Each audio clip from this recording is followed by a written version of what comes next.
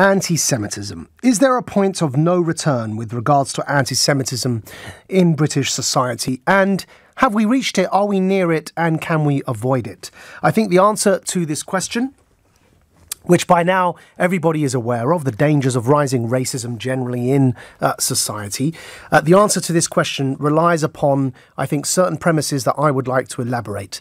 Uh, we've all seen, and many of us, I should say, have seen the images coming from the football stadiums uh, with certain fans, one of whom has now since been arrested, uh, basically chanting uh, racist abuse at football players um, who happen to be black, making monkey gestures, throwing things at their heads generally hate crime and racism is on the rise, and all racism is evil.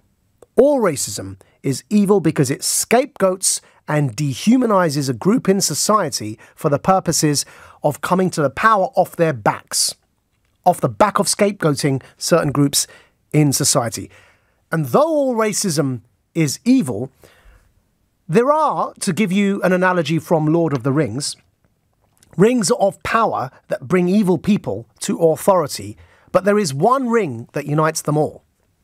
And the one ring of racism, even though I say all racism is evil, just practically, the one ring for racism is anti Semitism. And I'm going to explain to you why I believe this is.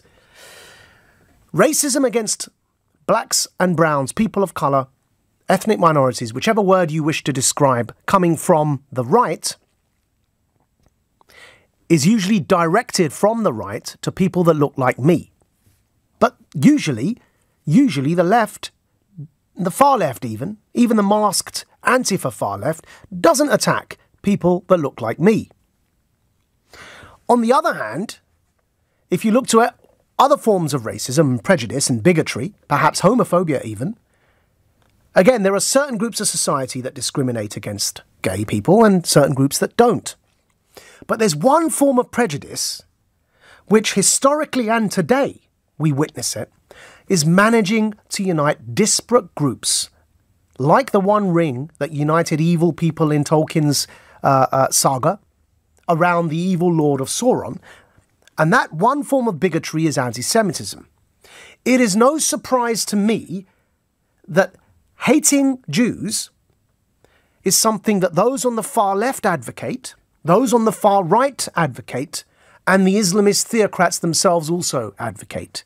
It's the one form of racism that can bring the triple threat to liberal democratic values together. That triple threat being, as I said, the far left, the far right, and in modern times, the Islamist extremists as well, which European history uh, would have been replaced with uh, Catholic extremists.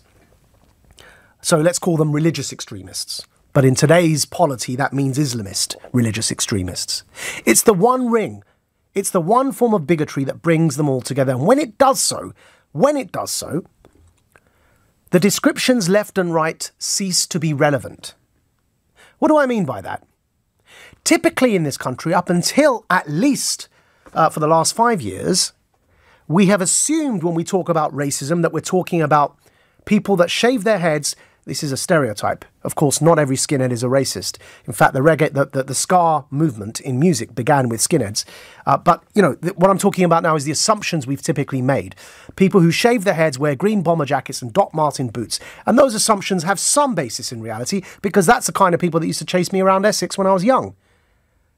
Again, with a caveat that not all skinheads are racists. But that's what we've typically assumed. But actually, if you look to how anti Semitism works in today's discourse, is it any surprise to you that the former leader of the BNP, Nick Griffin, has voiced his support for people on the far left, including Jeremy Corbyn, who have taken certain views around these sorts of topics? In, in, in, in current times, what I'm arguing is that anti Semitism is the only form of racism that can that has the potential to completely take over our society because it unites all the extremes. And in doing so, it paves the way for the takeover of our institutions. Now let's go back to, to, to, the Weimar Republic and the, and the period of Weimar Germany before Hitler came to power, and you will see those lessons there as plain as day for us to learn. Now, we study this in school, folks. We every year say never again for a certain reason, and despite the fact we say never again, it did happen again in Bosnia. So, first point, we're not immune from repeating the mistakes of Nazi Germany in Europe. We've already repeated them in Bosnia. We've already come close to repeating them elsewhere. We are not immune. So let's stop believing that somehow, in our self righteous arrogance, we've learned those lessons and we now can stop talking about them. One of the biggest mea culpas I issue of late is my naive belief after President Obama was elected that we entered into a post racial era. How wrong was I? But at the time when I recognized I was wrong, I didn't realize just how wrong I was. Because I was wrong thinking that racism against people like me has come back. I had thought it had gone away. But the extent of my analysis was it's come back in society. But actually, the problem is a lot, lot worse than that. Racism hasn't just come back in society. Racism is taking over our institutions. And that's what we mean by institutional racism. It's taking over organs that, that we need to operate as a society, such as political parties, such as uh, you know uh, uh, uh, movements and and discourse and so on and so forth. When you see anti-Semitism being investigated in, I think it's three conservative politicians and political uh, uh, public figures as well now as well as the concerns about it in Labour, when you see people throwing and making monkey gestures and throwing things at football players in this country, you realise just the stage at which we're in. Now, I, in my naivety, thought that once Obama became president, we'd move beyond that, and how wrong was I? But now I'm saying, what's the second mistake I made? The second mistake I made was not recognising early enough, and I'm among those that most people would say recognised it early on. And I say about myself, I don't think I recognised it early enough just how dangerous this anti this pernicious anti-Semitism is for our country and for our social fabric. It is the one form of bigotry, as I say again, that has the potential to unite Nick Griffin on that side with far left activists on the other side, as it has done already. This is not me making it up, folks. Look it up, Google it. Look who Nick Griffin has endorsed. There's an article in the New Statesman there for you telling he is singing Corbyn's praises. How is the far right endorsing the far left? We're through the looking glass. That's what anti Semitism does. And there's no doubt Nick Griffin is an anti Semite. And the BNP is a racist party. And so we have this situation now where we are through the looking glass. But as I said, there are lessons we could have learned from the Weimar Republic. What were those lessons? And I think last caller, before we began this topic,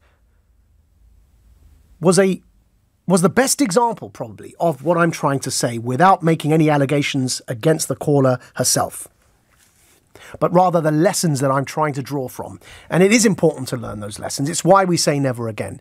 What did the National Socialist Party promise in Germany?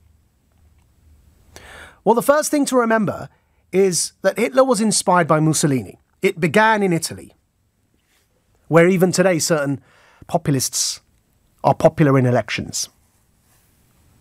What began in Italy was a member of the Italian Directorate of the Italian Socialist Party, a man named by Mussolini, realized that there was an opportunity to carve out a, and I put this in quotes deliberately, a socialist narrative because it's not a socialist narrative, but to carve out a socialist narrative by marrying it with xenophobia.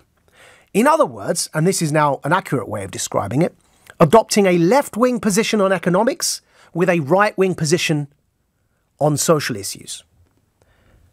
Now, what Mussolini did was he became xenophobic on immigration and foreigners and so on and so forth while promising state, industry, investment, infrastructure, and nationalization.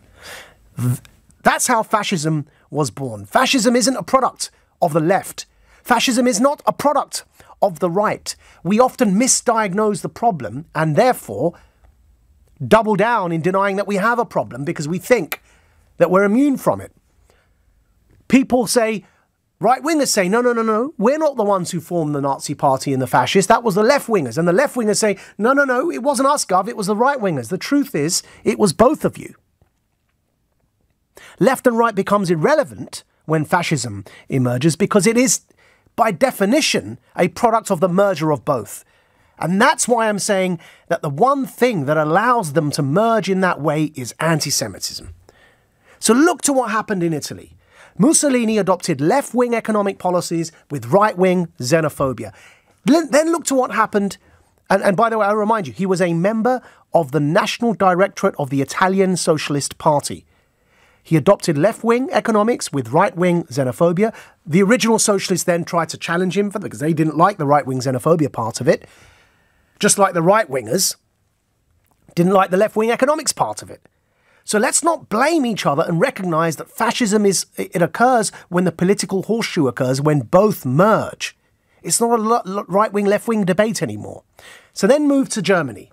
Hitler was inspired by Mussolini. That's known. That's just that's just on the record. He was inspired by that merger of left wing economics with right wing fascism, uh, uh, xenophobia, that created fascism. And again, he decided to do the same thing. It's why he called them the National Socialists. The national part is to represent the right wing xenophobia, and the socialist part, the left wing economic policies. German workers first, where we heard that before. And so it, Hitler was also a product of this merger. And again, he then concentrated on, on the scapegoat, which is, you know, the foreigner, the other. And for Hitler, it was the Jews was the perfect target for his evil designs. And so now bring it to Britain. Oswald Mosley was the same thing. He was a man who went through the Conservative Party, ended up in the Labour government as Chancellor of the Duchy of Lancaster, in a Labour cabinet, and then defected from Labour to form the Black Shirts of Britain. Mosley was, as an individual, a product of a man who took a journey from the Conservatives to Labour and then married both to set up the Fascist Party in Britain, and again was left wing economically, right wing on his social issues. And so if we if we if we take if we take that if we take that phenomenon and apply it to modern times, what I'm warning against is that happening here today in Britain. If you hear people saying they want British workers to come first, they don't like foreigners coming to this country. Meanwhile, they are criticising Jewish money, Jewish banking, Jewish finance, all of the anti Semitic tropes you heard that Hitler used before. If certain murals are going up depicting bankers that look like the tropes that Hitler depicted them as, if you're hearing people rail against the establishment, then that's code for something else. Please understand that people often use code when they speak in language. And when people are railing against the establishment, whether they're from the left or the right, it's usually code to mean that they are becoming authoritarian. They are railing against the existing authority because they want to replace it with their own authority, which is why I think the true struggle today on a societal level is one of liberalism with a small l versus authoritarianism with a small a. It is the struggle of totalitarian uh, uh, individuals and, and, and phenomena who want to dictate from the top what we should look like by playing on the least, on the lowest common denominator, which is our prejudices, our fears, and our anger and our bigotry, to try and gain as many votes as possible so they can take over from the top. And that phenomenon can occur whether it comes from the left or the right. It can outflank you from either of your wings because its destination isn't the left or the right, its destination is the top. And the only way to defeat that is by staying on the bottom and pulling them down and never allowing them to come to power. And so it is my view that anti Semitism is the one ring that unites all these extremes, and that actually this is an effort for authoritarianism. Do you think that that is correct? Are you worried that anti Semitism is so deeply ingrained in our society that there's a danger we're reaching that point of no return? I don't think we've reached it yet. Is there a way back from this? And once anti Semitism is unleashed in society, is it ever possible to put it back in its box?